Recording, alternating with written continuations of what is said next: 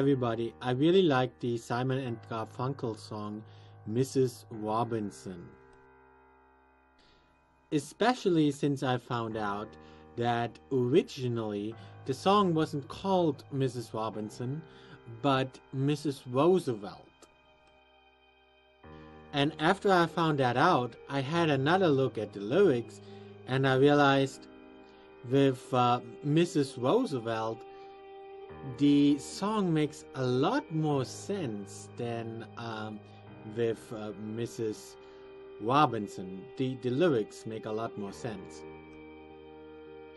But sadly, nobody sings the song with uh, Mrs. Roosevelt.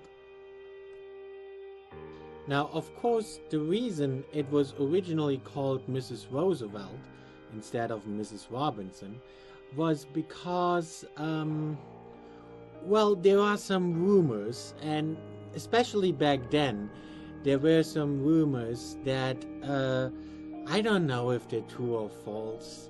Um, that Mrs. Roosevelt um, might have had some uh, communist uh, affiliations, and of course, those rumors, especially uh, uh, you know, sprung up uh, uh, during the 50s uh, when there was like this this red scare in the U.S. So I don't know if the rumors are true or false, uh, but the the bottom line is the lyrics make a lot more sense with Mrs. Roosevelt instead of Mrs. Robinson, and um, but and, and and there is definitely you know the if you really look at the lyrics, there is definitely some uh, how shall I put this? Some some underlying tone there, and but it's it's a little subtle. Actually, it's not, but uh, it's the, the song still sounds flattering on the surface. So uh, a lot of people who who know that the song was originally called Mrs. Roosevelt uh, think that um, it, it, was supposed to flatter Mrs. Roosevelt, you know, but but uh, there is definitely some some some tongue in cheek, so to say. There's definitely an underlying tone there, you know. Anyway, um, but of course, Mrs. Roosevelt is long dead and uh, doesn't really have uh, much relevance today.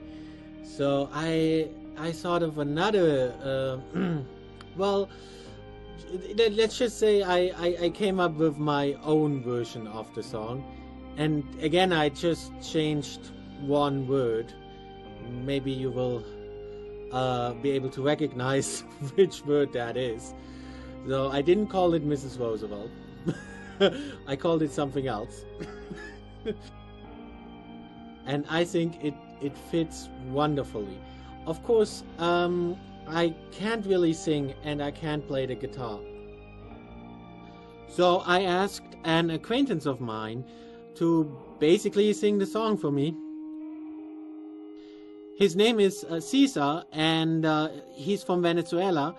And uh, I think he did a, a, uh, really nice job and he incorporated uh, a lot of um, local instruments which gave it that uh, South American flair, which I think is really nice, and uh, which basically turned it into an, an entirely different song in combination with my small alteration. Uh, so um, I hope you will enjoy the song, and uh, yeah, don't don't take it too uh, serious if you um, well don't don't uh, see it as a political message.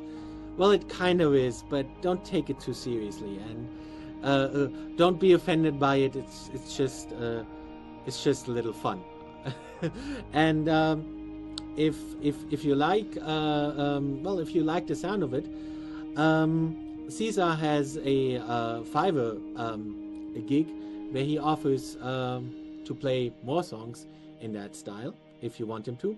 So uh, check out my description. Uh, yeah.